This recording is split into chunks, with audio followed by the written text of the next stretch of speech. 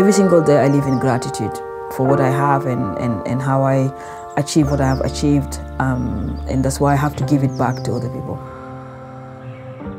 I came from a, a, very difficult background as a child. You know, I was abandoned by my mother when we were five years old. At the age of 13 years old, I was trafficked from uh, Senegal to France.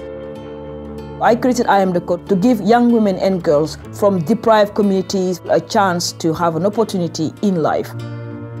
So our mission is to get 1 million women and girls coders by the year 20, 2030. Technology has no class, no gender, and no age. What is changing about technology is now the unusual people are having access to it. And then our girls are unusual people. They're not part of the mainstream. It's inspiring them. It's actually showing them if you have someone holding your hand that you can do this, we're inspiring young girls to dream big. Our partnership with Alibaba Cloud is to provide free courses to the African girls. By the time they finish, they all want to become scientists and pilots and, and coders and developers they become proud of themselves uh, and they become independent.